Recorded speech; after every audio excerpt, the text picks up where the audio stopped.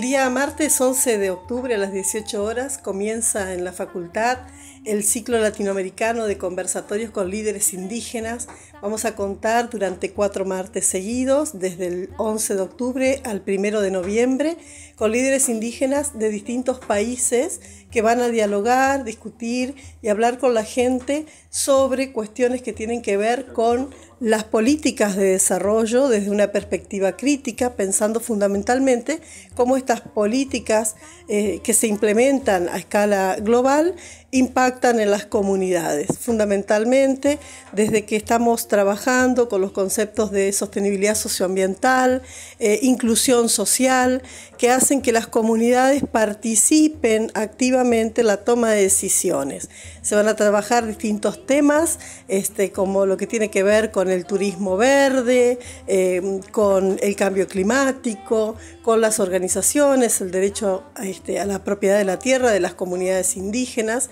Y bueno, nos van a visitar gente de Ecuador, eh, de Guatemala, de Brasil, eh, además, por supuesto, de los líderes indígenas de la comunidad en Vía Guaraní de Misiones. Bueno, es una de las actividades que organiza la Maestría en Gestión del Desarrollo Socioterritorial, abierta completamente a la comunidad. Este, puede participar cualquier persona que se interese sobre estas temáticas. Los conversatorios duran una sola hora. Eh, tenemos un link de inscripción este, para garantizar los lugares tanto presenciales como virtuales. Estos conversatorios van a estar coordinados por el doctor Carlos Salamanca Villamizar, es un investigador este, de CONICET vinculado a la Universidad Nacional de Rosario, que tenemos el lujo y la alegría de tenerlo aquí en nuestra, en nuestra maestría, dictando un seminario y coordinando este conversatorio con líderes indígenas. La importancia del conversatorio en este contexto actual es que cuando pensamos en el desarrollo como noción, particularmente a partir de